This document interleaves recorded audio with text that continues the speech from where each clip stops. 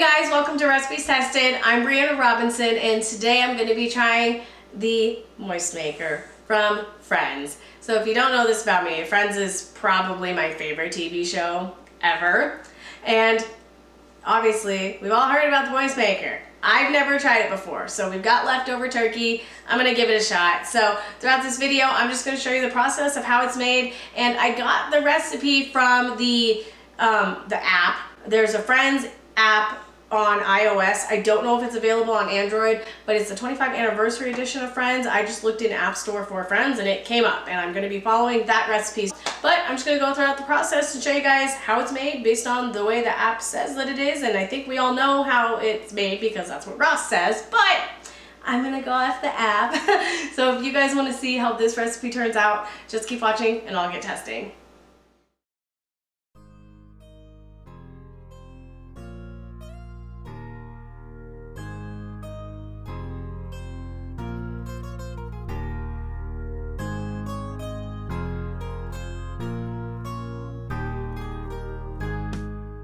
The first thing I had to do was to make some more gravy because we ate ours all on Thanksgiving. So this is how to make gravy without like dripping. So I got about a tablespoon of butter and melted that down on medium heat in a little pot and then added in about a tablespoon of flour. And I've made this before. It tastes kind of like KFC, like mashed potato gravy. That's why I make this gravy, not graving. But anyway, you cook your flour down in the butter until it kind of smells like cooked pie crust. Um, 30 seconds is not long enough in my opinion. I need a good two, three minutes before I add in my stock. So that's what I'm doing here. I add in my water and my beef or my chicken concentrate. Holy crap, I cannot think right now. Um, and cook that together until it gets all thickened. You can season with salt and pepper like I did a little bit. You don't have to. The concentrate has plenty of flavor. But once that was thickened to my liking, I went and got going on the sandwich. So I got my specific light mayonnaise, as Joey says, it makes his pants fit better. So I got my mayonnaise and spread it on two of the three slices of plain white bread. You can use any bread you like, it says in the app. My husband just loves the white bread for his sandwiches for lunch, so that's what we use. And then next I got going and adding my chicken turkey breast. Goodness gracious. My turkey breast. And I just kind of loaded it on both sides. It didn't say specifically to do that. Um, it just said do it however you want, so I just did it and I seasoned with salt and pepper again because that's what I like to do.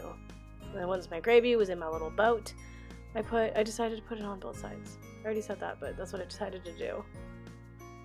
This was a huge sandwich, guys. Okay, and being honest, if I wasn't on camera, I would have just dunked the bread in the gravy boat, but I wanted it to look a little nicer, so I spread it on, but I didn't get enough gravy on my sandwich to really make it like a moist maker. So if you're doing this, just dunk it in. No one's watching. Just do it. It's okay. It's totally fine. I only eat the sandwich once a year, so it's totally good.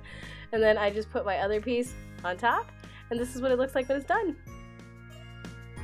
All right, guys, this is it. I don't know why, but for some reason I imagined it looking a little bit more glamorous. I don't know, but I'm gonna give it a taste and see if it's love at first bite. I see why the dude threw it away now because this is a massive sandwich. This is like a Big Mac. Mmm. My face is so messy. Holy Toledo, don't eat this on camera. That's an incredible sandwich.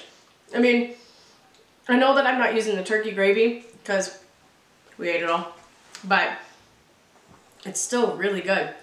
Um, the bread gets so incredibly wet that using up all the breast is going to be super easy because it's get, it gets more moist from all the gravy in there. I mean, I, I think this is going to be a new way that we make our leftover turkey sandwiches after Thanksgiving because it's easy.